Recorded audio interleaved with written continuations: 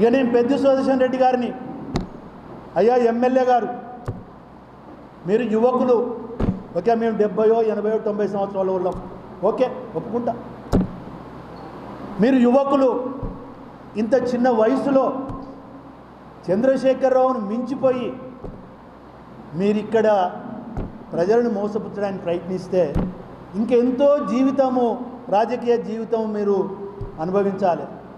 ఎంతో ప్రజాసేవ చేయాలి.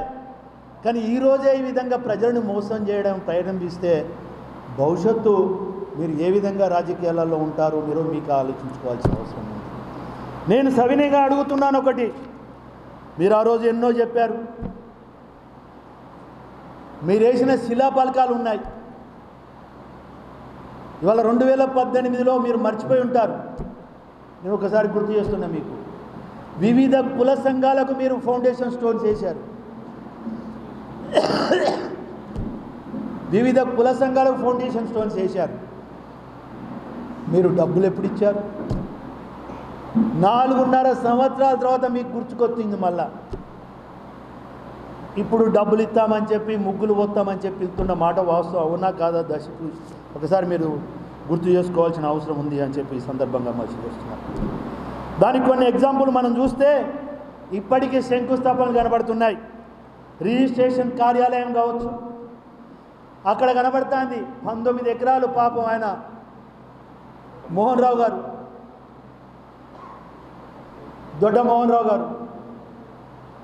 ఆయన ఇక్కడ పుట్టిన బిడ్డను ఇదేదో వాళ్ళకి ఇల్లు కట్టుకోవడానికి డబుల్ బెడ్రూమ్ ఇల్లు కట్టడానికి స్థలం లేదట అని చెప్పి సరే ఎకరాకు ఐదు లక్షలు ఆరు లక్షలు ఇచ్చిందని తెలిసింది నాకు. ఆయన దగ్గర దగ్గర కోటి రూపాయలు ఇచ్చి భూములు కొనిస్తే ఆడ ఏం పెట్టినావు నువ్వు? రెడీ మిక్స్ ప్లాంట్ పెట్టినావు ప్రైవేటు వ్యక్తులకు. వాస్తవం కాదా? ఆయన పని అయిపోయింది రెడీ మిక్స్ ప్లాంట్ పిక్కపెట్టు అక్కడ మాత్రం డబుల్ బెడ్రూమ్ ఇల్లు ఇక్కడ ఏమీ కనబడలేదు. ఇవాళ నువ్వు చెప్తావు కావచ్చు.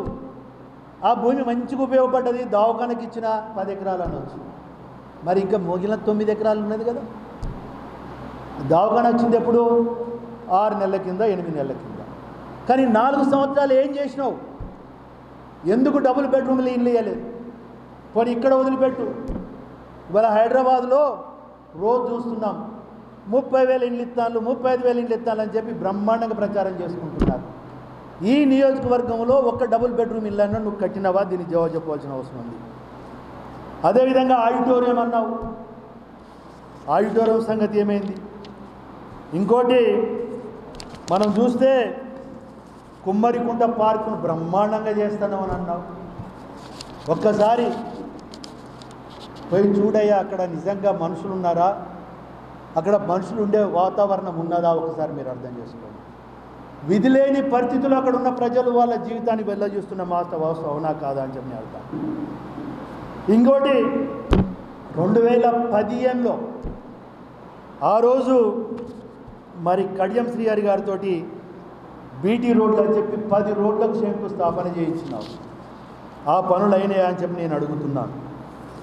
అంటే నేను ఇంతకుముందు చెప్పినట్టుగా ఆవు చేలం మెత్తే దూడ గట్టుకు మెత్తదా అన్నట్టుగా చంద్రశేఖరరావు సొంటోళ్ళు ముఖ్యమంత్రి గారు సొంటోళ్ళు కేటీఆర్ హరీష్ రావు వాళ్ళు ప్రజలను వివిధ తప్పుడు మాటలతో మభ్యపుచ్చడానికి ప్రయత్నం చేస్తుంటే దయాకర్ రావు లాంటి సీనియర్ నాయకుడు ఒక పంచాయరాజ్ శాఖ మంత్రిగా ఉన్నవాడు టెలికాన్ఫరెన్స్లో ఏ విధంగా మనం దళితులను మోసం చేయాలి అని చెప్పి గైడ్ చేస్తున్న సందర్భంలో వాళ్ళకు నేనేం తక్కువ అని నువ్వు కూడా ఇక్కడ ప్రవర్తిస్తున్నావు.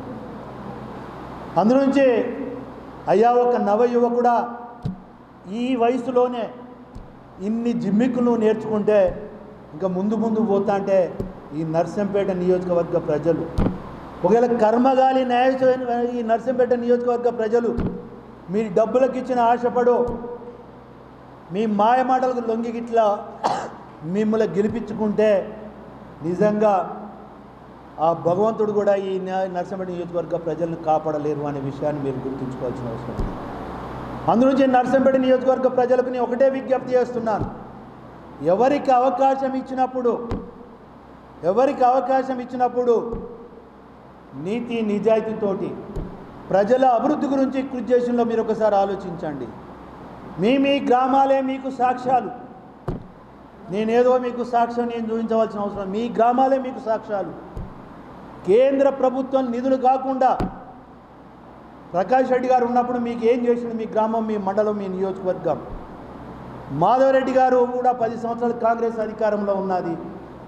మాధవరెడ్డి గారిని కూడా మరి అవకాశం వచ్చినప్పుడు ఏ విధంగా చేసిండో మీరు ఒకసారి ఆలోచించవలసిన అవసరం ఉన్నది. అదేవిధంగా మనం చూస్తున్నాము పెద్ది సుదర్శన్ రెడ్డి గారు. ఇంకొక విషయాన్ని పెద్ద సుదర్శన్ రెడ్డి గారిని మీ ద్వారానే అడగదలుచుకున్నాను. మీరు జిల్లా కేంద్రము అనేది ఈ నర్సంపేటకు తీసుకొస్తానని మీరు చెప్పిన మాట వాస్తవాన్ని అంటే ఏ కాస్త మార్పు వచ్చినా జిల్లా కేంద్రం తీసుకొస్తానని చెప్పిన మాట వాస్తవం అవునా కాదా అని చెప్పి నేను అడుగుతున్నాను. ఇవాళ నేను అడుగుతున్నాను ములుగులో ఉన్న సౌకర్యాలు ఏంటి? నర్సంపేటలో లేని సౌకర్యం ఏంటి? ఆ రోజు నేను చీఫ్ సెక్రటరీ గారిని కూడా కలిశాను. ఆల్ పార్టీస్ని తీసుకుపోయాను. వ్యాపార వర్గ వాళ్ళని కూడా తీసుకుపోయాను. కలిసినప్పుడు ఆయన ఒక మాట చాలా స్పష్టంగా చెప్పారు. ఎందుకంటే నేను పబ్లిక్ అకౌంట్స్ కమిటీ చైర్మన్గా ఉన్నప్పుడు ఆయన నా మీటింగ్లో కూడా అటెండ్ అయిన వ్యక్తి. సార్ మీకు తెలవంది ఏమున్నా సార్ జిల్లా కేంద్రం అనేది ఇట్స్ ఏ పొలిటికల్ డిసిషన్ అని చెప్పిన విషయం వాస్తవం అవునా కాదా? మీరు ఆ రోజు పత్రికలలో కూడా మీరు చూడొచ్చు. రెండోది జిల్లా కేంద్రము ఎందుకు విభజన జరిగింది? జ స్మాలర్ డిస్టిక్లను ఎందుకు చేసిండ్రు? ఒక ప్రాంతం అభివృద్ధి చెందాలి అంటే జిల్లా కేంద్రం పోతే ఆ ప్రాంతం ఇంకా అదనంగా అభివృద్ధి చెందుతుంది అనే ఉద్దేశంతో.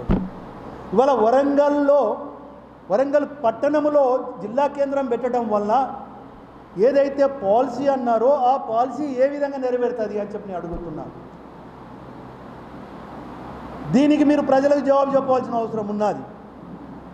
ఆ రోజు మేము డివిజన్ కేంద్రం తీసుకొచ్చినాం. స్టేట్లోనే అతి చిన్న డివిజన్ కేంద్రంగా నర్సుపేట ఏర్పాటు చేస్తే ఇవాళ పూర్వ జిల్లాలో అతిపెద్ద విద్యా కేంద్రంగా అభివృద్ధి చెందిన మాట వాసం అవునా కాదా అని చెప్పి నేను అడుగుతున్నా. ఇవాళ నువ్వు సంకలు కొట్టుకుంటున్నావే. ఇవాళ ఇక్కడ మెడికల్ కాలేజీ రావడానికైనా దానికి పునాది వేసింది మన నర్సంపేట ఏరియా ఆసుపత్రి డెవలప్మెంట్ వల్లనే అది సాధ్యమైన విషయాన్ని నువ్వు ఒకసారి గుర్తు చేసుకోవాల్సిన అవసరం ఎంతైనా ఉంది. ఇవాళ ఇక్కడికి రెండు వందల యాభై పడకల ఆసుపత్రి వచ్చింది అంటే రాష్ట్రంలో మూడు ఆసుపత్రులు వస్తే ఒకటి నర్సంపేటకు వచ్చింది అని అంటే దానికి పునాది అనేది నర్సంపేట ఏరియా ఆసుపత్రి యొక్క రికార్డు అనేది వాస్తవం అవునా కాదా మీరు ఒకసారి ఆలోచించాల్సిన ఆలోచించవలసిన అవసరం ఉంది. ఇవాళ ఉదయ్ సింగర్ గారు ఉన్నారు. ఆ రోజు సూపరింటెండెంట్. యాభై పడకల ఆసుపత్రి అయితే వంద పడకలు ఏర్పాటు చేసి ప్రతి నెలలో కూడా ఏ గ్రేడు ప్రతి సంవత్సరం కూడా ఏ ప్లస్ గ్రేడ్లో వచ్చటం వల్లనే ఇవాళ మొత్తము జాతీయ ఆరోగ్య మిషన్ ద్వారా ఇవాళ అరవై ఐదు కోట్లతోటి ఇక్కడ రెండు వందల యాభై పడకల ఆసుపత్రి నిర్మాణం జరుగుతుంటే మీరు చేసింది ఏంటి అని చెప్పి అడుగుతున్నా. ఇది కూడా ఒక మోసమే. వచ్చిందాన్ని హరీష్ రావు గారు వచ్చి కనీసం ఎక్కడ కేంద్ర ప్రభుత్వం పేరు కానీ లేదా ప్రధానమంత్రి ఆరోగ్య మంత్రి పేరు తీసుకోకుండా ఇది మేము స్టేట్ గవర్నమెంట్ ఇస్తున్నాం అన్నట్టుగా ఏదో గొప్పలు చెప్పుకొని శంకుస్థాపన చేసి పెట్టింది. ఎక్కడా కూడా కనీసం ప్రధానమంత్రి ప్రోటోకాల్ ప్రకారము ప్రధానమంత్రి గారిది ఆరోగ్య మంత్రి యొక్క ప్రోటోకాల్లో కూడా ఉండవలసిన అవసరం ఉన్నది. వాళ్ళు వచ్చినా రాకుండా కనీసం ప్రోటోకాల్ కూడా పాటించే నైతికత లేని నాయకత్వం మీది. ఇవాళ మీరేమన్నారు? వచ్చే మార్చట గవర్నమెంట్ ఏది వస్తుందో ఏది రాదో తెలియదు. వచ్చే మార్చట అప్పుడు బడ్జెట్ కేలా కేటాయిస్తారట? అప్పుడు మెడికల్ కాలేజ్ అని చెప్పి అడ్వాన్స్ జీవో ఇస్తారట. ఎక్కడిది మీకు ఆ రైట్ అని చెప్పి అడుగుతున్నా. ఫైనాన్షియల్ ఇయర్ రాకముందు జీవో ఇచ్చే నైతిక ఎక్కడిది మీకు అని అడుగుతున్నా నేను. అది కూడా ప్రజల్ని మోసం చేయడమే.